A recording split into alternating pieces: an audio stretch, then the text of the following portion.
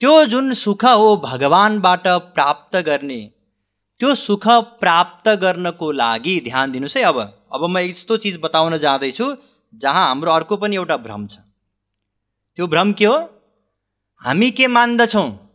यदि संसारी लाभ भयो भने ओहो भगवान् दयालु हुनुहुन्छ अस्ति म मन्दिर गएर मागेको थिएँ मेरो आज यो कामना पूर्ण भयो। हामी यो सोच्छौँ नि? अर्थात् भगवान्ले संसार दिनुभयो भने भगवान्ले कृपा गर्नुभयो यो हामी सोच्दछौँ। मनकामना मन्दिर गएको छोरा भयो कृपा गरिदिनु भयो। यो उल्टो ज्ञान हो हाम्रो दिमागमा। भागवतमा यसको विपरीत बाणी छ भगवानको। पढ्नु होला।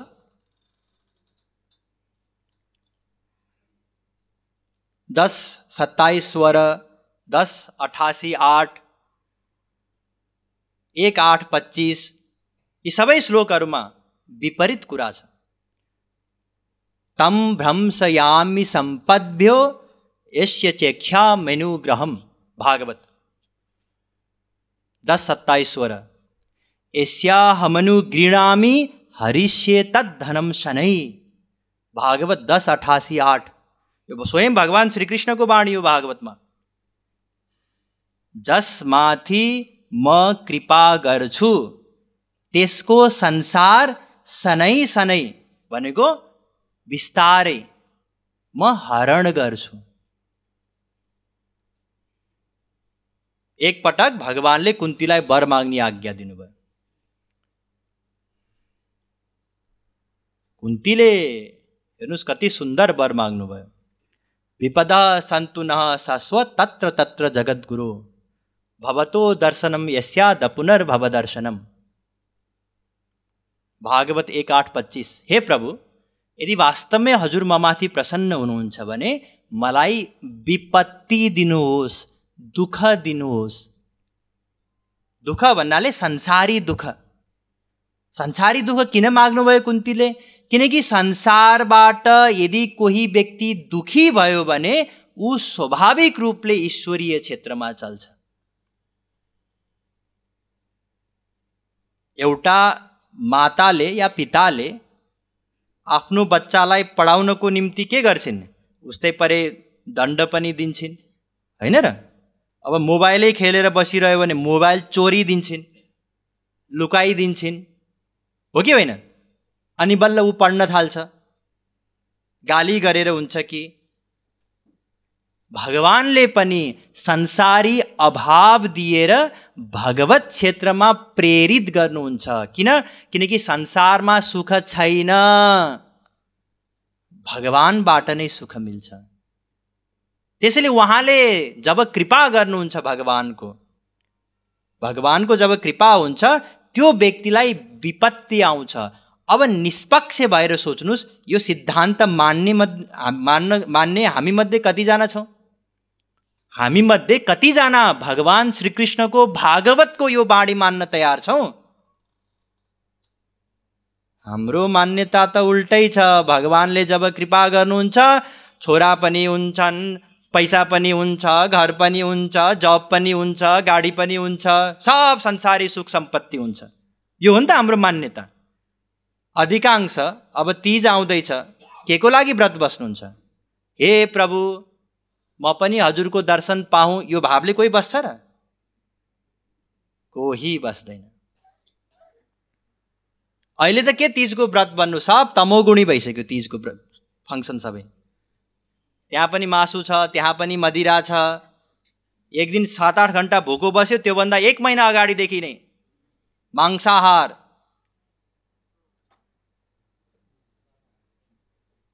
आशा के गर्छौ भने?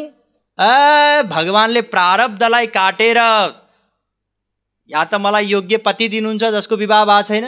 जसको विवाह भइसक्यो पतिको रक्षा गरिदिनुहुन्छ। त्यसैले संसारमा सुख छैन। अझै भागवत नौ उन्नाइस तेह्रमा बताइएको छ कि यदि कुनै पनि व्यक्तिलाई सम्पूर्ण पृथ्वीको सम्पूर्ण सम्पत्ति दिइयोस्। यत् पृथिव्याम ब्रीहि एवं हिरण्यम पशव स्त्रिय न दुयन्ति मन प्रीतिम पुंस काम तस्यते। ध्यान दिनुहोस् यो एकदम महत्त्वपूर्ण वाक्य हो वेद व्यासजीको उहाँ भन्नुहुन्छ यदि एउटा व्यक्तिलाई सम्पूर्ण पृथ्वीको सबै सम्पत्ति सब जमिन उसको नाममा होस्। यदि ऊ पुरुष हो भने सबै स्त्रीहरू भोग गर्न मिलोस् उसलाई। स्त्री हो भने सबै पुरुष भोग गर्न मिलोस्। सबै पशुधन पनि उसैको होस्। यस प्रकारले सबै पृथ्वीको मालिक एकजनालाई बनाइदिने हो भने पनि ऊ सुखी हुन सक्दैन। अनि हामी के आशामा छौँ? एक बिघा दुई बिघा जमिन होस्। दुई चारवटा घर हुन् काठमाडौँमा पनि सानो ओत लगाउनलाई एउटा घर होस् एउटा गाडी होस् त्यसमा सुख मिल्छ होला र। जब सम्पूर्ण पृथ्वीको ऐश्वर्य प्राप्त हुँदा त सुख मिल्दैन। किनकि हाम्रो कामना नै त्यही प्रकारको छ। गिरिर महान गिरेर अब्धिर महान अब्धेर नभो महत नवसोपि परम ब्रह्म ततो प्यासा दुरत्यया सुक्ति पर्वत विशाल छ। पर्वतभन्दा समुद्र विशाल छ। समुद्रभन्दा आकाश महान छ। आकाशभन्दा पनि ठुलो भगवान् हुनुहुन्छ। तर भगवान्भन्दा पनि ठुलो अर्को एउटा चिज छ। त्यो के हो? हाम्रो कामना। अचिन्त्य भगवानको चिन्तन गर्न सकिन्छ। देख्दै नदेखेको भगवान्लाई पनि दर्शन गर्न सकिन्छ। तर इतिहासमा आजसम्म पनि कसैले पनि संसारबाट संसारी विषयवस्तु प्राप्त गरेर कामनालाई पूर्ति गर्न सकेको छैन निष्काम बन्न सकेको छैन। यो त बढ्दै जान्छ बढ्दै जान्छ। जति पायो अझै बढ्दै जान्छ। एकपटक एकजना राजा अकबर बिरबल मान्नुहोस् हिँड्दै गएछन्। प्रजाको अवस्था बुझ्नको लागि। एउटा झुपडी थियो टाढैबाट देखे। त्यो झुपडीबाट व्यक्तिहरू खुसी भएर जब अट्टहास एकदम चर्को गरी हाँस्छन् नि त्यो हाँसोको आवाज आइराखेको थियो। राजालाई आश्चर्य लाग्यो भने बिरबललाई बिरबल त्यो झुपडीमा व्यक्तिहरू कसरी खुसी छन्? उनीहरू त रुन पर्ने या कमसेकम डिप्रेस्ड अनुहार हुन्छ नि चिन्तित भयभीत भोलि के खाने पर्सि के खाने त्यो अवस्थामा व्यक्तिलाई डर पनि हुन्छ नि बिरामी भइहाल्यो भने के गर्ने? त्यो हुन पनि ठाउँमा व्यक्तिहरू एकदम खुसी छन् हाँसिरहेछन् यसको कारण के हो? बिरबलले भने महाराज यसको कारण गरिबी हो। गरिबी? गरिबीमा कसरी खुसी हुन सक् सक्छन् व्यक्तिहरू? बिरबलले भने महाराज म हजुरलाई बताइदिउँला मलाई उनान्सेवटा असर्फी दिनुहोस् अकबरले भने लैजाऊ उनान्सेवटा असर्फी दिए उनले उनान्सेवटा असर्फीलाई एउटा थैलीमा पोको पारेर ढोकाको अगाडि राखिदिए। गए। भोलिपल्ट बिहान ढोका खोल्ने बित्तिकै एउटा थैली देखेँ जो पहिला निस्क्यो। थैली टिपेर हेरेको असर्फी रहेछ उनान्सय एउटा गने। एक दुई तिन चार गन्दा उनान्सय। सब मिलेर मिटिङ गरेर गन्दै थिए। भगवान्ले दिन त दिनुभयो तर उनान्सयवटा दिनुभएछ। सयवटा भएको भए सबले मिटिङ गरे अब यसो गरौँ। अब यसलाई हामी सय पुर्याउँ। त्यसको लागि परिश्रम गरौँ। अलिकति खर्च पनि कम गरौँ बचत गरौँ। त्यो बचत भएको पैसाले फेरि एउटा असर्फी किनेपछि सयवटा असर्फी हुन्छ। त्यो सोचेर भोलिपल्टदेखि सबैजना कसिए सबै जोसिए। ठिक छ गर्ने भनेर। कोही काम गर्न थाले कोही के गर्न थाले कसैले ओभर टाइम गर्यो। अब त्यो गर्दा गर्दा के भयो त्यही झगडा पऱ्यो तैँले धेरै काम गरिस् तैँले कम काम गरिस् मैले धेरै काम गरेँ। भाइ भाइको बिचमा पनि ईर्ष्या भयो। सयवटा असर्फी भएपछि सबै उसले खाने हो कि? या यो असर्फीको लागि म माथि केही उसले षड्यन्त्र गर्ने हो कि? यो प्रकारको एउटा मनमुटाव त्यहाँ सृजना भयो। अनि पन्ध्र बिस दिनपछि बिरबलले ल आउनुहोस् महाराज भनेर लिएर जाँदै थिए त्यो बाटोमा। अब झगडा गरेको आवाज सुन्यो बाहिर। परैबाट त्यहाँ झगडा चलिरहेको थियो राति। यसलाई the trap of ninety nine भनिन्छ। हामी सबको अवस्था त्यही हो। जति हामीसँग छ त्यतिमा हामी सन्तुष्ट हुँदैनौँ कहिल्यै पनि। वास्तवमा हामीसँग धेरै चिज छ। सोच्नुहोस् त हामी अहिले यहाँ उपस्थित हुन सकेका छौँ। यसको मतलब के हो? हामी स्वस्थ छौँ। होइन र? कति व्यक्ति त अहिले हस्पिटलमै होलान् इमर्जेन्सीमा आइसियुमा। हामी जीवित छौँ। हिजो राति हामी सुत्यौँ आज बिहान हामी बिउज्यौँ विश्वभरि यदि हेर्नुभयो भने लगभग पचास हजार एक लाख व्यक्तिहरू राति सुत्छन्। भोलि बिहान उठ्दैनन्। हामी तीमध्ये परेनौँ। अर्थात् हामीसँग एउटा अर्को दिन प्राप्त भयो। केही गर्नको लागि। ज्योति एक लाख व्यक्तिहरू मरे उनीहरूको छिमेकीहरू आफन्तहरूले पनि त दुःख पाए नि। केवल म मात्रै बिउजिन। मेरो पति पनि आज बिउजिनु भयो श्रीमती पनि बिउजिन् छोरा पनि बिउजियो। आफन्तमा कोही पनि मरेनन्। तर हाम्रो स्वभाव के छ? जे हामीलाई प्राप्त छ त्यसको कुनै महत्त्व छैन। जीवनको महत्त्व बुझ्नको लागि एउटा टर्मिनल क्यान्सर लागेर सङ्घर्ष गरिरहेको व्यक्तिसँग सङ्गत गर्यो भने बल्ल हामीलाई थाहा हुन्छ ओहो म त सकुशल छु। त्यसै गरी संसारमा पनि जे जति हामीलाई प्राप्त भएको छ त्यो प्राप्त भएको चिज त्यसको महत्त्व हामी बुझ्न सक्दैनौँ। जे प्राप्त हामीलाई भएको छैन त्यसको पछाडि दौडिन्छौँ। एउटा बिचारा जो साइकल चलाइरहेछ उसले त यति नै लक्ष्य राख्छ होला नि एक दिन मैले मोटरसाइकल चलाउनु पाएँ। यो गर्मीमा आफै पेडल मार सब गर परिश्रम गर कठिन हुन्छ नि। उसले मोटरसाइकलको लक्ष्य बनाउँछ। तर जोसँग अलरेडी मोटरसाइकल छ ऊ त दुखी छ। उसले के को लक्ष्य बनाउँछ? कारको। मोटरसाइकल पनि के चढ्नु? कार भएको भए पानी पर्दा पनि आनन्द हुन्थ्यो एसीमा गरिममा आरामले जान सकिन्थ्यो। उसले कारको सपना देखिराखेको हुन्छ। जो कारमा हुन्छ उसले यही सोध्छ यो पनि कुनै कार हो? अलिक गतिलो बिएमडब्लु मर्सिडिज यही छ हामीभन्दा अगाडिको व्यक्तिलाई देखेर हामी दुखी छौँ।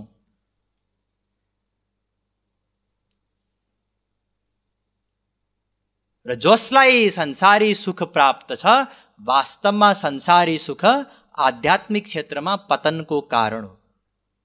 त्यसैले सन्तहरूले बताइदिनु भएको छ सुखके माथे सिल परे। यदि कुनै सुख भन्ने नामको व्यक्ति संसारी सुख नामको व्यक्ति भयो भने त्यसलाई झुन्डाएर उसको निधारमा सिल ठोकिदिनु। सुखके माथे सिल परे नाम हियते जाए बलिहारी वा दुख कि पल पल नाम रटाए? सन्त भन्नुहुन्छ त्यो सुखलाई त फाँसी दियोस् निधारमा सिल ठोकेर म त्यो दुःखप्रति बलिहार जान्छु जुन दुःखले गर्दा व्यक्तिहरूले पल पल भगवान्को स्मरण गर्दछन् नाम लिन्छन्। त्यसैले संसारी दुःख मिल्नु वास्तवमा कृपा हो। संसारी सुख सुख नै होइन भ्रम भ्रान्ति मात्रै हो। त्यसले अनर्थ निम्त्याउँछ। संसारी सुखले अनेक प्रकारका अन अनर्थ निम्त्याउँछ। पापाचार भ्रष्टाचार। सब संसारी सुख सम्पत्ति वैभव भयो भने सब आफसे आफ आउँछन्। सबै अवगुणहरू त्यसैले ध्यान दिनुहोस् फेरि अब कन्क्लुजनमा आउनुहोस्। संसारमा सुख छैन भगवान्मा नै सुख छ। किनकि जुन सुख हामी चाहन्छौँ त्यो अनन्त मात्राको प्रतिक्षण बढ्दै जाने र सधैँ रहिरहने यस्तो सुख हुन्छ। अब अर्को यसको बारेमा बुझ्नुपर्ने कुरा के छ भने हामी ध्यान दिनुहोस् है। अब जुन कुरा म बताउँदैछु त्यसले कसैलाई पिन्च पनि हुनसक्छ। तर यो फ्याक्ट हो। हामी केवल आफ्नो सुख चाहन्छौँ। अब यसलाई गम्भीरतापूर्वक यदि ध्यान गर्नुभयो केही बेर सोच्नुभयो मन्थन गर्नुभयो भने यही निष्कर्षमा आफसे आफ पुग्नुहुन्छ, सबैजना। हामी केवल केवल केवल आफ्नो सुख चाहन्छौँ। नवारे पत्यु कामाय पति प्रियो भवत्यात्मनस्तु कामाय पति प्रियो भवति। नवारे जायायै कामाय जाया प्रिया भवत्यात्मनस्तु कामाय जाया प्रिया भवति। नवारे पुत्राणां कामाय पुत्रा प्रिया भवन्त्यात्मनस्तु कामाय पुत्रा प्रिया भवन्ति। नवारे सर्वस्य कामाय सर्वं प्रियं भवत्यात्मनस्तु कामाय सर्वं प्रियं भवति। बृहदारण्डकोपनिषद चार पाँच छ। हेर्नुहोस् वेद भन्दछ कुनै पनि पतिले पत्नीको सुखको निम्ति केही पनि गर्दैन। पत्नीहरू फेरि मक्खन नपर्नुहोस् है पतिहरूलाई कुनै आरोप आयो भनेर। तुरुन्तै वेद भन्दछ कुनै पनि पत्नीले पतिको सुखको निम्ति केही पनि गर्न सक्दिन। कुनै पनि पिताले पुत्रको निम्ति केही पनि गर्न सक्दैन। कुनै पनि पुत्रले पिताको सुखको निम्ति केही पनि गर्न सक्दैन। कसैले पनि अरू कसैको सुखको निम्ति सपनामा पनि सोच्नसम्म पनि सक्दैन। सबैले केवल आफ्नै सुखको लागि निरन्तर प्रयत्न गर्दछन्। अब यहाँलाई लाग्ला गुरुजी कुरा त ठिकै होला तर मेरी श्रीमतीले मलाई असाध्यै माया गर्छ त। यो पक्का हो माया? डेफिनेटली पतिले पत्नीलाई पनि माया गर्छन् पत्नीले पतिलाई पनि माया गर्छन् तर आफ्नो सुखको लागि माया गर्छन्। ध्यान दिनुहोस्। यदि अब तर्कद्वारा बुझ्नुहोस् यदि श्रीमतीले श्रीमानलाई श्रीमानको सुखको निम्ति माया गर्ने हो भने त्यो श्रीमानले अर्को कुनै स्त्रीसँग सम्बन्ध राख्यो भने त सुख सुख खुसी हुनुपर्ने ओहो मेरो श्रीमानलाई फलानु कुनै स्त्रीसँग सम्पर्क गर्दाखेरि सम्बन्ध राख्दाखेरि सुख मिलेको रहेछ। तर कसैलाई पनि त्यो फिलिङ त हुँदैन। न श्रीमानलाई नै हुन्छ। यदि श्रीमानले श्रीमतीको सुखमा नै सुख मान्ने हो भने श्रीमतीकै सुखको लागि प्रत्येक कार्य गर्ने हो भने त्यो श्रीमतीलाई अर्को पुरुषबाट सुख मिल्दछ भने त्यो सुखप्रति उसले राम्रो फिलिङ गर्नुपर्ने। यसबाट मेरो श्रीमतीलाई सुख मिलिरहेछ। तर होइन। हामी माया गर्छौँ तर आफ्नो सुखको लागि। यदि ध्यान दिनुहोस् संसारी प्रत्येक सम्बन्ध त्यो कुनै श्रीमान श्रीमतीको मात्रै सम्बन्ध होइन प्रत्येक सम्बन्ध स्वार्थसँग गाँसिएको सम्बन्ध हो स्वार्थले युक्त सम्बन्ध हो चाहे जोसुकैको सम्बन्ध होस्। यदि स्वार्थ सिद्ध भइराखेको छ कसैबाट पनि भने त्यहाँ प्रेम हुन्छ। स्वार्थ कम हुँदै गयो प्रेम कम हुँदै जान्छ। स्वार्थ सक्यो अब प्रेम पनि छैन। अब स्वार्थमा हानि उत्पन्न भयो। अब त्यही लडाइँ झगडा हुन्छ मारपिट हुन्छ डिभोर्स पनि हुनसक्छ मर्डर पनि हुनसक्छ। होइन र? हामीले देखेकै छौँ न्युज पढ्छौँ हरेक दिन। श्रीमानले श्रीमतीको हत्या गर्यो श्रीमतीले श्रीमानको हत्या गरिन् बाउले छोराको हत्या गर्यो छोराले बाउको हत्या गर्यो। सबै प्रकारको समाचार सुन्छौँ नि। किन? स्वार्थको कारणले गर्दा। हामी आफ्नो सुख चाहन्छौँ केवल आफ्नो। अरू कसैको पनि सुख चाहँदैनौँ। अब अर्को सुखको बारेमा बुझ्नुहोस् हाम्रो यो सुखको खोजी अनादिकालदेखिको।